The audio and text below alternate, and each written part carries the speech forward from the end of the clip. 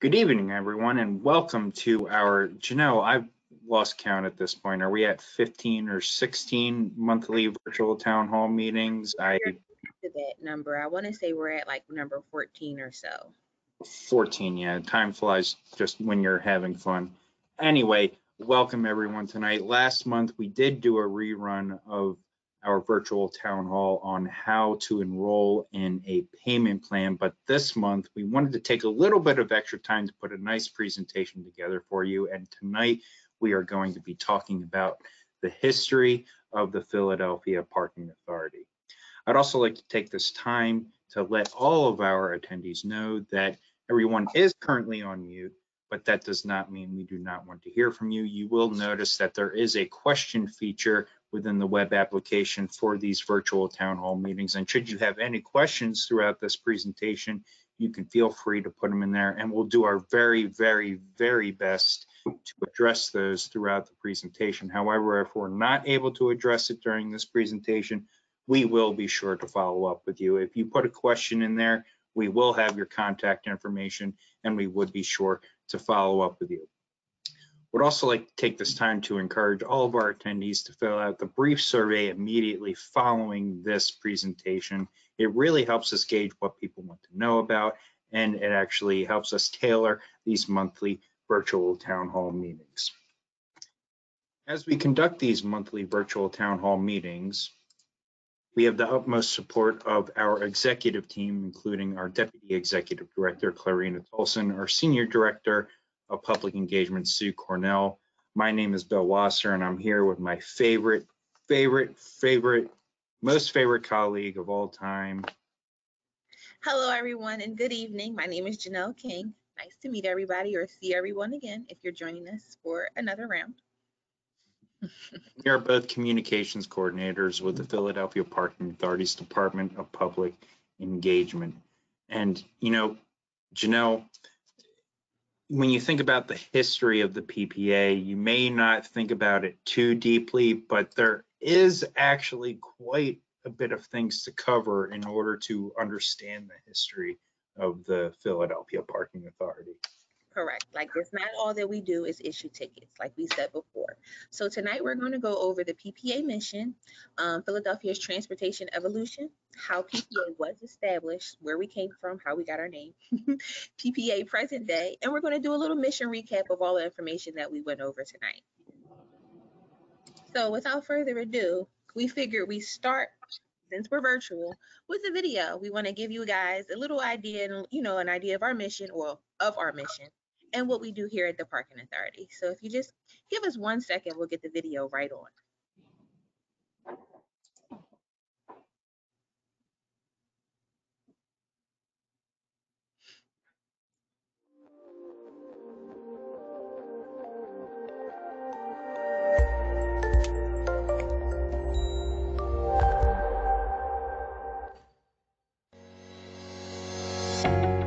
Philadelphia Parking Authority has a variety of responsibilities that guides our everyday functions. We administer Philadelphia's red light camera program to deter red light running at the city's most dangerous intersections.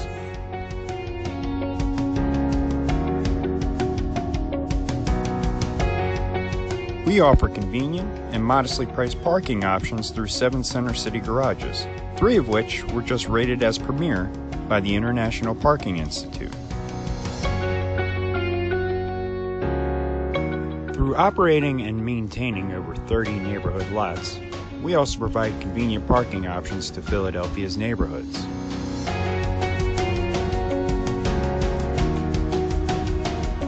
We also provide state-of-the-art parking options at Philadelphia International Airport. In an effort to keep the traveling public safe, we also regulate Philadelphia's taxi and limousine services, as well as transportation network companies such as Uber and Lyft. And of course, we enforce Philadelphia's parking regulations to ensure a safe and continuous traffic flow for Philadelphia's residents and visitors.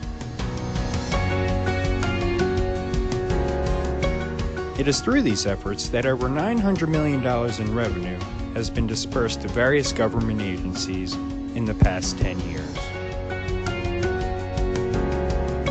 Reaching these goals would not have been possible without the hard work from our very dedicated staff. We thank you for being here, and we look forward to our continued dialogue and partnership moving forward.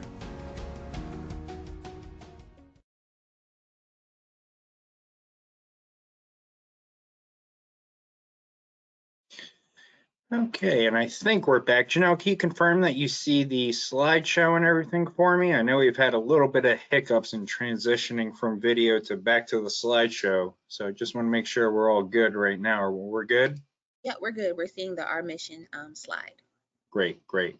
And I just want to say that the ending part of that video when the, the, that was the year that the Eagles were in the in the Super Bowl, and I, I, was actually the person behind the camera filming that. I just remember it being like a really, really exciting time in Philadelphia, and with uh, the recent draft that the Eagles have, hopefully we'll be seeing uh, more of that this year. But anyway, moving on.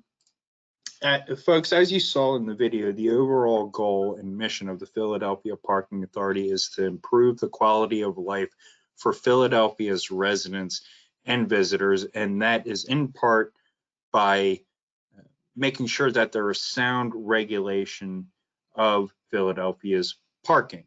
Uh, that is what we try to do. We keep Philadelphia moving. But in order to understand the overall mission of the Philadelphia Parking Authority, we first need to understand the evolution of the, let's call it the transportation ecosystem of Philadelphia. Uh, as an example, if you look at this picture back in Philadelphia in 1907 at 12th and Market Street, you see the various forms of transportation that were available at the time. These were the ways in which people conducted commerce in the city at the time. You see uh, people walking, you see individuals on horseback, you see trolleys, you even see horse-drawn carriages.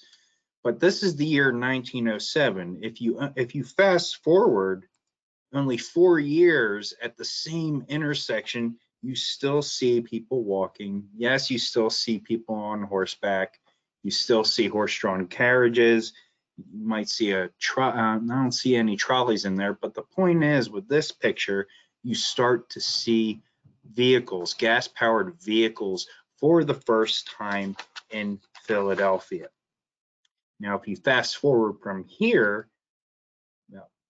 14 more years at 15th and Market Street, the entire streetscape is completely dominated by gas powered vehicles. That includes cars, trucks. I think there's even buses in there. You still see trolleys on there. So you can see that uh, the way in which Philadelphians got around was quickly, quickly evolving. And if you fast forward 30 more years, you see more modern automobiles on the street. But in particular, if you look at the curb space on the side, it is just completely, completely and entirely dominated by gas powered automobiles.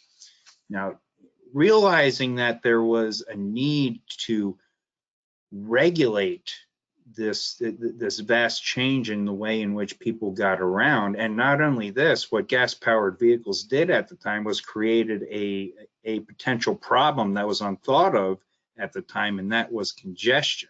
So realizing that their parking uh, parking meters were eventually introduced in the 40s but before we um, get into parking meters a little bit uh, want to see if we can test our audience's knowledge here a little bit. So we're going to pose a question for you guys here. And that question is, let me pull it up here real quick.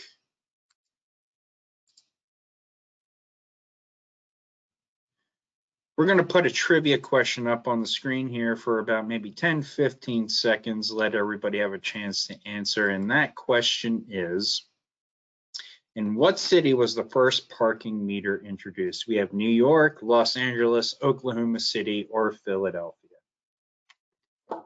So we'll keep that up on the screen for a little bit. And if you do get the answer correctly, uh, if you do provide the correct answer, we may or may not send you a little, uh, little PPA care package. So we'll leave it up there for maybe about five, ten more seconds, let everyone have a chance to answer.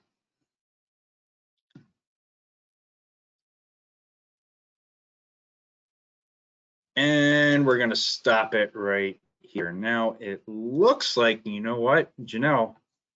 I, I, I think uh, quite a few people are gonna learn something here tonight. The first parking meter was introduced in Oklahoma City in the year 1935, and at the time it was called the Parkometer. And Janelle, no, no one, no one got it right. No one got it right. Well, that's fine. Well, you know, that's why we have these monthly virtual town hall meetings to inform, educate, and assist. But uh, everyone had answered uh, Philadelphia. I, I- know we're we're the first in quite a lot of things, but uh, you know, parking meters weren't were not one of them. It, they- it was first introduced in Oklahoma City in 1935. But in regards to Philadelphia, let me just go back one more slide. As you can see, the entire curb space is completely dominated by cars by the year 1955.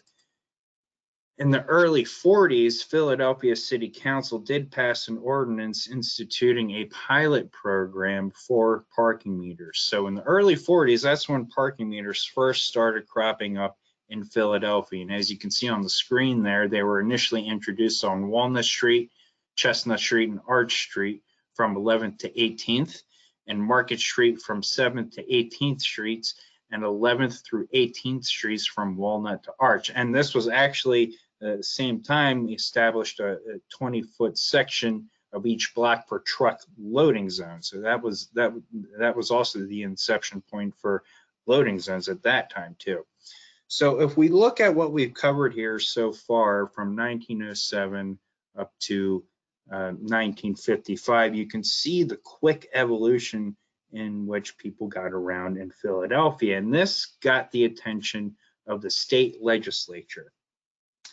Now, what the state legislature did in 1947 is it passed the Parking Authority Law, which is Act 53 of June 5th, 1947. Now, what this piece of legislation actually did is it permitted all municipalities within Pennsylvania to create their own officially established parking authorities.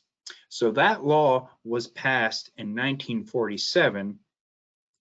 And then following that, city council then passed that. Let me actually go back for a second. They call this enabling legislation, which permits municipalities to govern in a way they seem fit.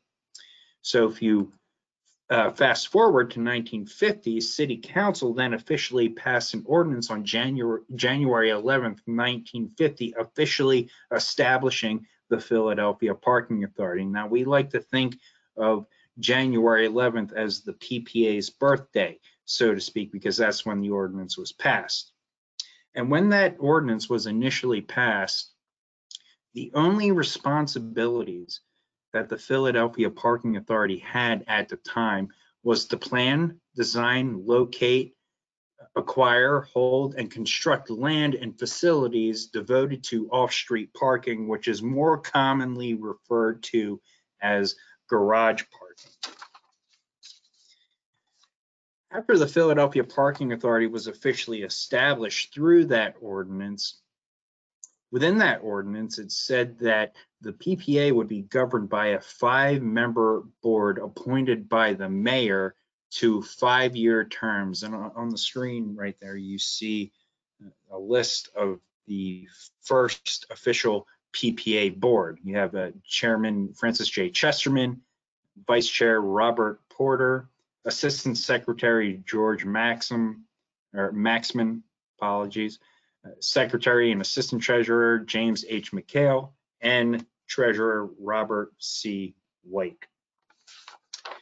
After the Parking Authority board, uh, board was officially established, they, they realized that before hitting the ground running, there, there was much needed feedback needed from key stakeholders in the surrounding community. So they officially established an advisory committee upon the board being created. And if you look at the list there, I'm not going to read off the entire list. You, you notice that members of that board had a, uh, had some sort of say or, or, you know, like some sort of say or interest in the transportation ecosystem within Philadelphia at the time. But most notably, this is kind of cool. You can see that the vice president of the PTC was a member of that advisory committee. And if you're a transportation history buff in Philadelphia, the PTC is actually the precursor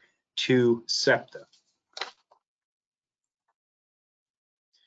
So upon the board being established and engaging with the necessary stakeholders at the time, the PPA then went about to went about fulfilling its mission at the time, which was to provide convenient and modestly priced off-street parking.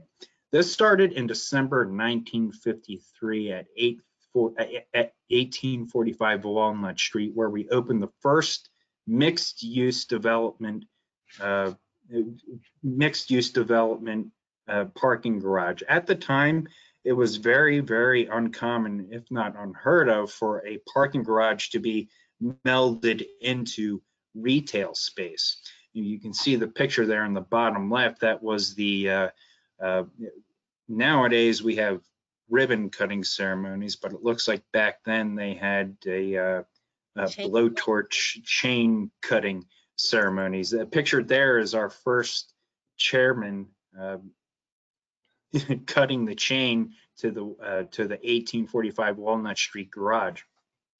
And following the construction of that garage in 1954 at 10th and Ludlow Streets, the PPA opened the first self-park garage. Now this was a real, real trendsetter at the time because at the time, well, prior to that, parking garages effectively operated as a kind of like a glorified valet service that private parking operators were very, very hesitant to permit patrons to drive into their facility and park the vehicles themselves because of liability concerns.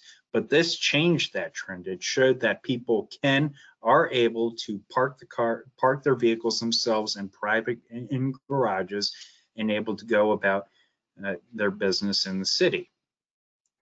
And, you know, I don't, I, I don't want to completely hijack all the history here. I, I, I could go on and on. I think I should probably turn it over to Janelle here a little bit, who, who has uh, the same amount of knowledge that I do. But Janelle, if I can, I, I just, I think we may have a question in here or two. Sure, if we want to take a quick break real quick to address the questions that they have. And then I'll get back to the slide. I am seeing that one attendee had uh, had audio issues earlier. Uh, Kelly, if you could let us know if you're still having those issues, we'll try to address them. But uh, for now, we'll just let uh, Janelle move forward. We good? Has Kelly said anything back yet? Good for now. Okay, cool. And if not, if we can't get, you know, if you cannot hear right now, if you're having audio issues, you can always tune in or later on, later tomorrow or come early Monday. This recording will be on our YouTube channel. So if you missed out anything or any information tonight, no worries. You can always catch up with the recorded um, version of the, the PowerPoint. Okay. So like Bill talked about, in the 50s, there was an influx of automobiles in the city, and the city wanted to create, you know, more parking facilities for the influx of automobiles. So the city wanted to create an underground parking facility. However, due to the cost um, incurred for this type of project, private garage operators did not want to sustain the cost of a ventilation system and structural costs to build underground. So the parking authority stepped in and started plans to build the first underground parking facility under Independence Mall. This garage was completed and opened in 1964 and it's still open to this day. It was the first underground parking garage in the city and in, I believe, in the nation. Um, so like I said, it is currently still open and operating. So if you're in Old City on Fridays or Saturdays after 5 p.m., our Independence Auto Mall parking garage underground offers $8 flat rate parking. So just a little plug, if you're in the area on Fridays and Saturdays, that garage that is still open from 1964 is still there in existence. And they also have great deals for Independence Mall and other things in Old City and in that area. So addressing the suburban mall problem. In the 1960s, malls and areas of commerce were being built. You had King, I mean, yeah, King of Prussia was built in 63 and Cherry Hill Mall was being built in 1961. So to bring commerce to the city, there were malls being built downtown. So aid to, to aid to the commerce in Center City and downtown, PPA opened two garages with direct access to these commerce or to these fashion shopping districts. The first was opened on 8th and Filbert Garage um, with direct access to Strawbridge, Strawbridge and Clothier stores and also the Lit Brothers building, which we currently reside in today as the PPA headquarters. So if you ever had to come down to PPA, the building or connecting our garage at 8th and Filbert is also our building that we exist in today. So um, the second garage was built in, well, 11 years later in, uh, was it 64 or 75, the Gallery Mall garage was built to create, um, you know, to drive commerce downtown and to create convenient parking for people coming to shop downtown. So if you guys take a look at the screen, these were the rates to the left of what the, the parking rates were in these times. So this is like a, I want to say this is from like the 1960s of one of our parking garages, the list. So if you could look, the picture is a little faint, but it says for zero to one hour, it was 15 cents for parking. So I know things, we always complain about the prices of things today, but if you think about it, 15 cents for one hour was pretty good.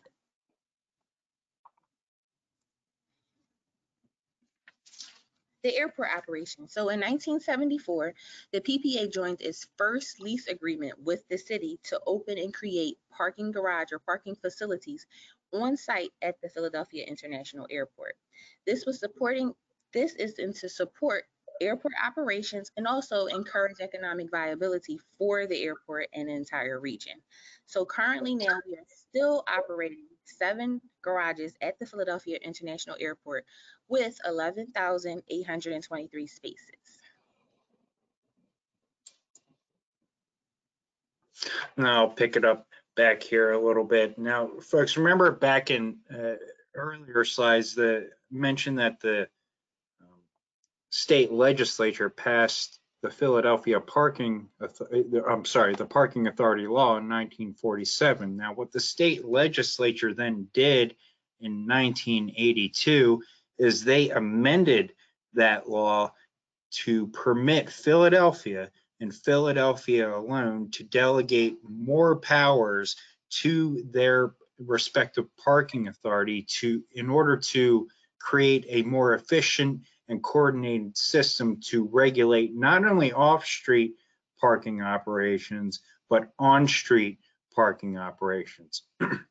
So that law was then amended at the state level, and then it then required city council to pass an ordinance to delegate those powers. And this occurred on April 22nd, 1983, bill number 1633 of city council.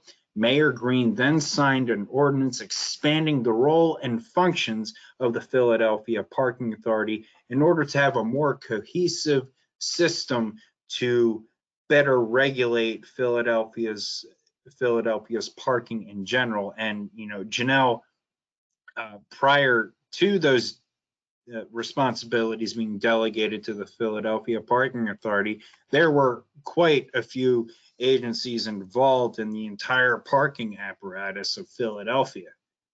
Right. It appears on our screen, the agencies involved were these four agencies here that you see. Um, and they all had parts in issuing and regulating the parking laws in the city. So it was the Philadelphia Streets Department, the Philadelphia Police Department, the Department of Licensing and Inspection, and the Department of Revenue. So all of these all of these agencies had actual parts in dealing with issuing tickets, putting up signs, enforcing regulations, all of the things that now have been expand, expanded as part of the PPA responsibility. So we're going to go through the different responsibilities that these agencies had that were transferred to the parking authority. So for the streets department, they were in control prior to 1983. They were in control or had powers over meter installation and maintenance, parking sign installation, and establishing parking regulations. But now that these roles have expanded, this is now under the purview of the Philadelphia Parking Authority. As to meter revenue, so where this was a part, you know, with the, the installation of meters came from the streets department and the Department of Revenue collected the funds. Now the PPA was made responsible for collecting meter revenue. So license and inspection had the authority to issue loading zone permits and also residential parking permits. So these two programs are to encourage and to aid um, customers and residents of Philadelphia in parking. So if you have a business, you were able to apply for a loading zone either near or in front of your place of your, you know, your establishment. That way that help customers uh, help customers with convenient parking near your business. Um, the residential parking program was created for Philadelphia residents to have parking in or near their neighborhoods. In first, it started in commercial districts. So when the Department of License and Inspection had this power, it was only in a small area in Center City. When the responsibility was given to the Philadelphia Parking Authority, we noticed, or this the city noticed more of a need for these types of regulations in their area, and now the program is expanded throughout the entire city of Philadelphia. Now, here we have the Philadelphia Police Department. Now, they still currently are able to issue tickets. However, the Philadelphia Parking Authority in 1983 was put in responsibility of not only issuing, but processing these parking tickets that were issued. So the Philadelphia Police Department now may issue these parking tickets, but the Philadelphia Parking Authority is responsible for processing these parking tickets. And also, we were made responsible for towing and impounding vehicles.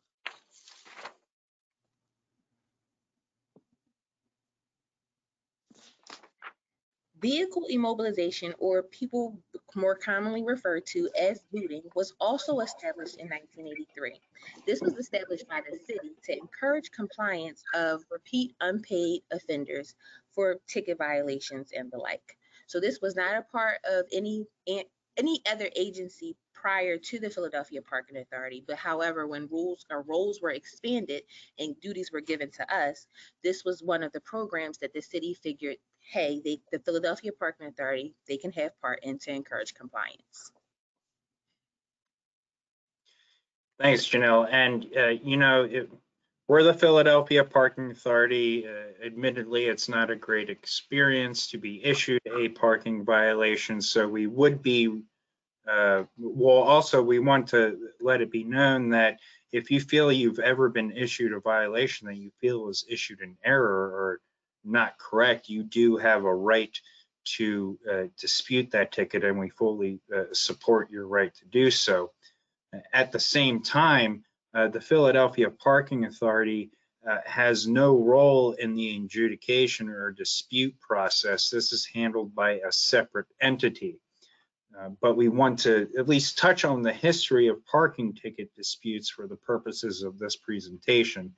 Um, back in uh, March 22nd, 1989, Bill number 350 of City Council, it, it, it was an ordinance that transferred responsibility of administering parking ticket disputes from Philadelphia Traffic Court to the city's Bureau of Administrative Adjudication, which is still the entity that administers parking ticket disputes at this time. So if you are disputing a parking ticket, that is the entity that you are doing it with. And as I had mentioned, their responsibility to the Bureau of Administrative Adjudication was transferred in 1989 from traffic court to the BAA, which is the acronym for Bureau of Administrative Adjudication. We we just since we're going through legislations in this presentation in a chronological order, we would kind of be remiss in not making mention of that.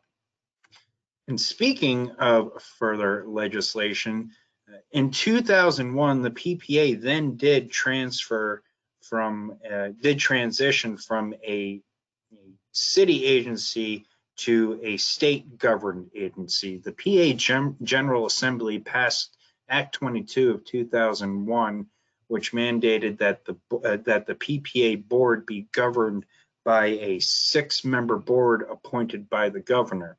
Now, when that had passed at the state level, the direct oversight of the PPA fell under the PA House of Urban Affairs Committee, as well as the PA Senate Consumer Affairs Committee.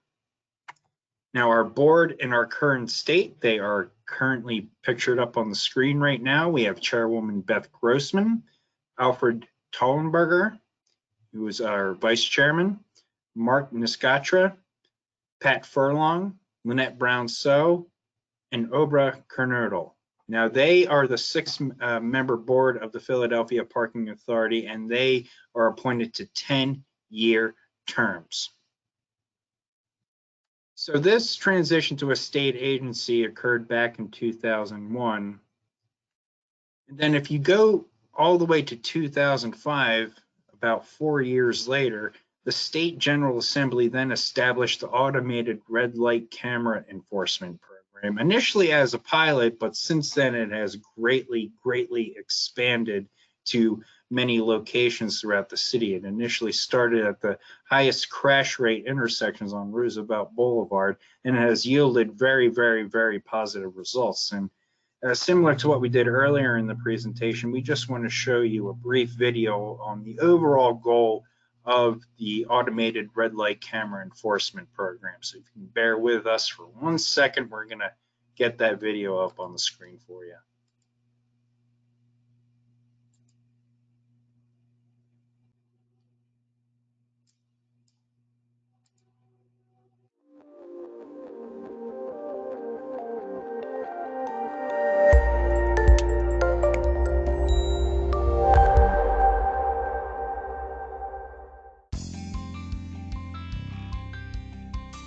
By implementing an automated red light enforcement program, safety on Philadelphia's city streets has been improved.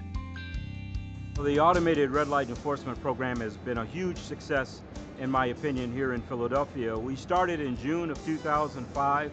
Since that period of time, approximately a million citations have been issued as a result of the program, but it's not about the tickets, it's about safety. And we have seen a decrease in the number of traffic accidents at many of our intersections that have been the most problematic. When a vehicle runs a red light, digital images are captured showing the violation with the date, time, and location of the offense. The images are transmitted to the Philadelphia Parking Authority for initial verification and carefully reviewed to ensure a violation occurred. Then the image is sent to the Philadelphia Police Department for final review before a notice of violation is sent to the vehicle owner. The Automated Red Light Enforcement Program utilizes advanced technology as part of a comprehensive and cooperative effort by the Philadelphia Police and Parking Authority to enhance safety measures on our streets. Traffic enforcement is all part of the larger picture of public safety.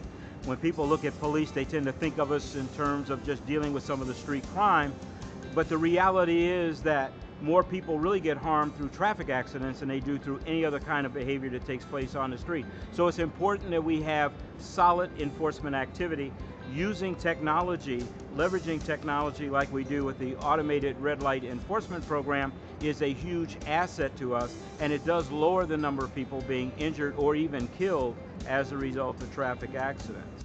Uh, we see this as a safety feature for the city of Philadelphia and we believe by using this option that it does help reduce the risk on our streets. Learn more about the Philadelphia Parking Authority's red light program by calling toll free 844 248 0449 or visit www.philapark.org.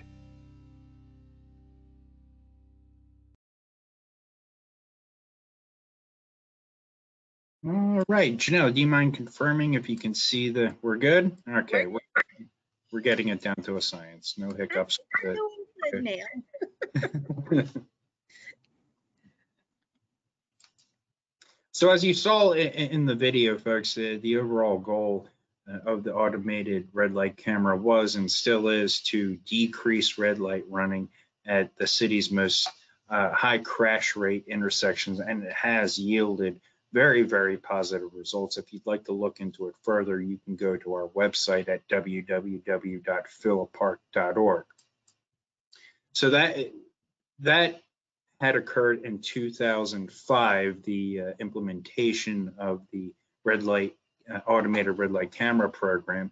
But what had also occurred around the somewhat around the same time is that the state legislature also mandated that the Philadelphia Parking Authority be the regulatory authority of taxis and limousines operating within Philadelphia. That occurred in 2004, but further down the line, all the way up to 2017, when TNC transportation network companies, more commonly referred to as Uber and Lyft, were coming into Philadelphia.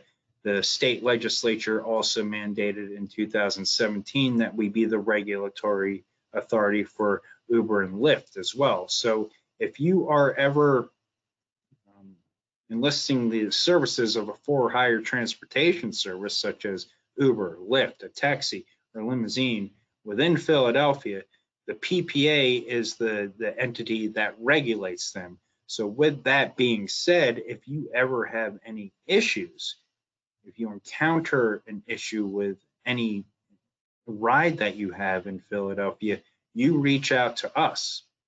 And I got to tell you, after working with our taxi and limousine division for uh, close to eight years now, they they are they they are always on top of uh, complaints and lost and found requests like a lampshade. It's actually really really invigorating to be part of.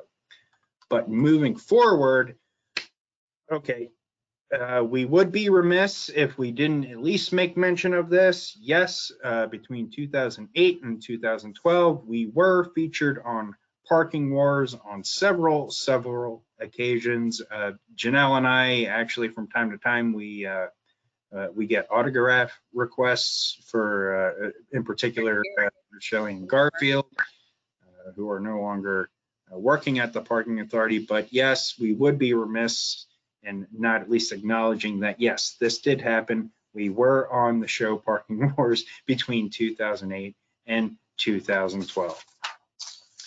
Now, if we move more recently, also an act of the state legislature mandated that the Philadelphia Parking Authority implement a pilot program for automated speed enforcement at, at the dangerous intersections along Roosevelt Boulevard. Now, as you can see on the graphic up there, it has yielded very, very, very positive results thus far. And I think we may have a question here and we'll get to it in a second. Uh, but since the implementation of the program, we actually just uh, released this year's automated speed enforcement camera report. Since its inception, speeding has decreased, well, violations have decreased. The issuance of violations have decreased by 91% at locations in which these cameras are installed. And that is the overall goal of the program is to reduce driving and ex at excess speeds. Now, Janelle, I think we did have a question here. Let me just pop in here. For some reason, my capabilities are not allowing me to see those. I apologize. On me. But hey, we got the video uh, and slide uh, slideshow transitions down though, right? But that that one's on me. Nope, that was just another pop-up that came up on my screen. We are, but similar to the red light camera video, folks, we're going to show you a brief video on the overall goal and operations of our automated speed enforcement camera program.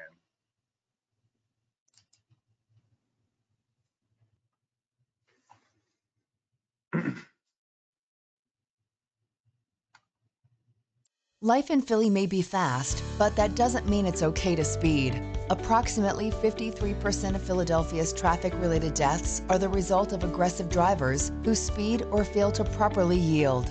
To help reduce the number of speeding related injuries, collisions, and fatalities, the Philadelphia Parking Authority has joined the City of Philadelphia as part of their Vision Zero campaign to make Roosevelt Boulevard safer. Partnering with Verra Mobility, the Philadelphia Parking Authority placed speed safety cameras along eight dangerous stretches of highway on Roosevelt Boulevard.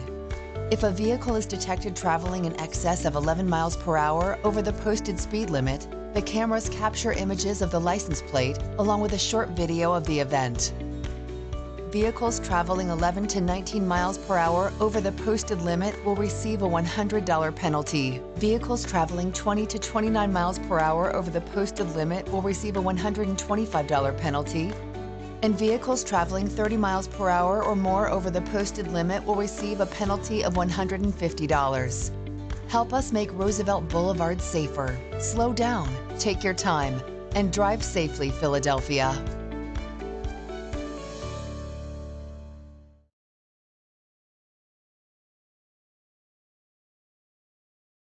All right, Janelle, last time I'm gonna ask you, we're all good? All right. We're good. So moving forward, the video that we watched earlier described our mission. However, our mission still oh. remains the same. The Philadelphia Parking Authority is here to help improve the quality of life for Philadelphia residents and visitors. So I'm just going to go through like kind of like a recap or keep you up to date of what's going on today at the Philadelphia Parking Authority. So from the inception of the parking meter in 1940, currently today we have six, well, 1,650 pay-by-plate kiosks and uh, 15,182 metered parking spaces in and around the city. There's over, well, we have a mobile payment app called Meter Up, and there's been over a million downloads of this application since, I want to say, maybe since inception date of the Meter Up. And December also- 2017. Yep. Since 2017, there's been a hundred or 1 million, I'm sorry, meter up downloads of the app for residents and visitors of the city of Philadelphia. And there's also 37 residential parking districts. So like I said on the, this prior slide, the beginning of the residential parking or permit parking program, there was only a small neighborhood in Center City that had the RPP program. Now we've expanded to 37 districts.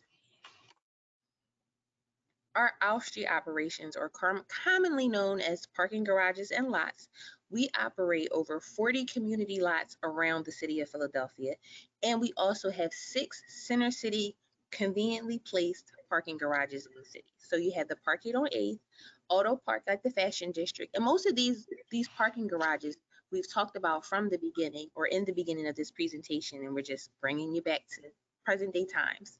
So there's the, the auto district, I mean, I'm sorry, the fashion district, the auto park on Eighth, Independence Mall, Old City Garage, Family Court, and I can't see at the bottom of the screen, but I know that we have another.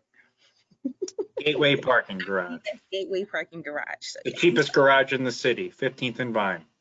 And if you're ever looking for parking deals, you can always go to our website and check out our garage page, which has, you know, our garage and lots page. It's also listed of the parking garages that we have in Center City and also our neighborhood lots. So, eh, sorry. At the airport, we currently operate seven on-site parking garages. So if you ever travel to the Philadelphia airport or traveling to and from in the city of Philadelphia, if you park at a garage at the airport on site, then it's one of the Philadelphia Parking Authority garages. And we also have limited availability in the economy lot for parking. Now, like Bill was just talking about, initially it was just taxi cabs and limousines. However, with the market expanding, we also enforce or regulate Uber and Lyft drivers and vehicles. So we have for hire transportation over 460 taxi taxi cabs and limousines that we regulate throughout the city.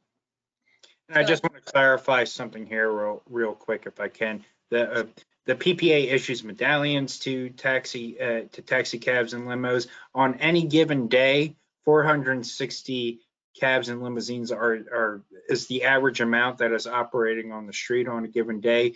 But there are, we have issued over 1,600 medallions, so that means over 1,600 individuals are uh, able to operate taxi cabs and limos throughout the city. So I just wanted to clar- clarify that point there. I'm- I apologize for interrupting Janelle. No, no problem. And the medallions are, if anybody has any questions, the medallions are just to make sure that the, the taxi cabs are, the drivers are registered, they have licenses, the cabs are clean, and they're up to par, you know, with regulations for travel. So if you ever get in a cab that's not clean, um, or you have problems with the driver, maybe it was ride discrimination, you can always reach out to us because our taxi limousine, um, officers will definitely get on the case and handle that. And I just want to make mention while we're on this slide, it is very important if you do travel in taxi cabs or limos or Uber and Lyft around the city that you get a P number. Well, it's only on cabs, but if you if you um, utilize cabs in the city, if there's ever an issue with your ride, every cab in the city of Philadelphia is a, given a P number. And that P number is on the cab, on the back of the cab, on the side, and it's also in the back of the vehicle. So if you are a rider, maybe you didn't see it before you got in, but you can also, you know, while you're in the cab, you can also jot that P number down. So if anything was to happen, they have a reference on which cab you were in for that day. So like um like Bill was just talking about, we showed the videos for our automated speed and red light enforcement. These programs are um, the red light and both the speed camera started as pilot programs and they are well they, they both started on Roosevelt Boulevard because of the high crash data from that yields from Roosevelt Boulevard. Now currently we have 32 intersections with red light camera enforcement and we have eight intersections on the boulevard with speed camera enforcement. So we moved the pilot program started for red light on the boulevard. However, the city noticed the need for more enforcement, so we expanded and now we're in throughout the city of Philadelphia. And just one final little recap here before we end the presentation for, uh, for tonight. Uh, Janelle, you just went over a lot of things, so just one little final recap. How it started, 1947, when the Philadelphia Parking Authority, when the Parking Authority law was established, and in 1950, when the PPA was officially established, we only oversaw off-street parking garage operations. But now, go to 2022, that uh, that list has uh, kind of grown to a plethora of responsibilities. So as you can see, folks, that as uh, the transportation ecosystem in Philadelphia evolved, so did the need to properly regulate uh, not only uh, the parking operations, but other public safety aspects such as driving at excessive speeds and driving through uh, uh, red lights. So that, as you can see, uh, our history is rather vast and our responsibilities and roles have uh, really, really expanded throughout time and have kind of evolved with the changing needs of the time. So we thought this was just, you know, something that we wanted people to know, thought they would find interesting. And I mean, you know, uh, as we saw earlier, I think people did at least learn one thing, and that was uh, parking meters uh, first cropped up in Oklahoma City in 1935. So hopefully you all found this presentation informative, interesting, have a uh, better understanding of our, our overall history and our mission in its current state.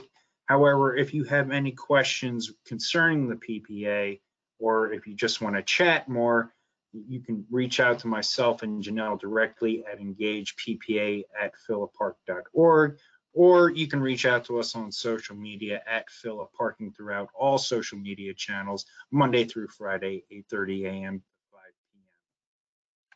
We'd also like to take this time to formally invite you to our next virtual town hall meeting, which will occur on Thursday, March 3rd at 6 p.m. We always have them. Oh, did I say March? We passed that. I'm going back. I hopped in the DeLorean. I'm sorry. Okay. Thursday, March 3rd. It was doing so good until the very end. I literally messed up the last line. It's fine. Anyway, we really hope to see you guys Thursday, May 3rd, 2022 at 6 p.m. And don't forget, folks, please take the time to fill out the survey, which will be immediately following this presentation. Uh, would also be remiss in excuse me, and uh, not welcoming back Miss Ann King.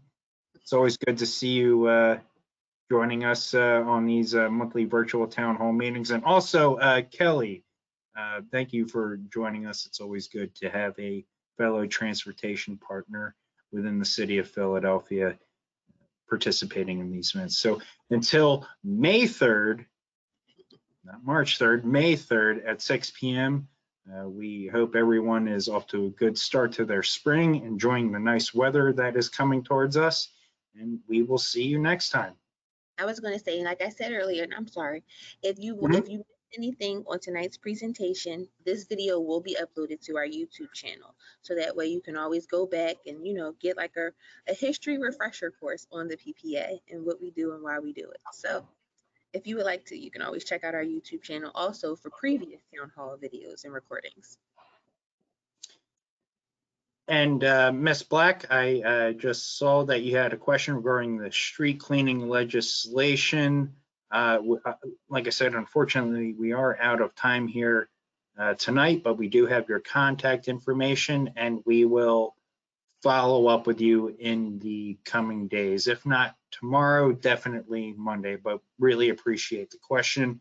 Kelly, thank you uh, for joining us. Like I said earlier, always great to have a fellow transportation partner uh, joining us here tonight. Hope everything is going well for you over at Otis. So until next month, folks, uh, thank you for joining us and we will see you next month. Have a good night, everyone.